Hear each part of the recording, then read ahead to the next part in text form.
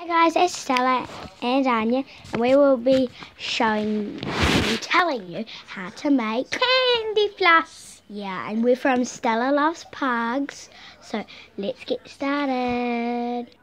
So the first thing is what you've got to do is you've got to get some like coloured dye and then put in the candy maker. Step two, then you've got to whisk it all around like a little thing. And then three, enjoy! Yum, yum, yum, nom, nom, nom, nom, nom, nom. Bye, YouTube. Peace out, YouTube. See you, my YouTube.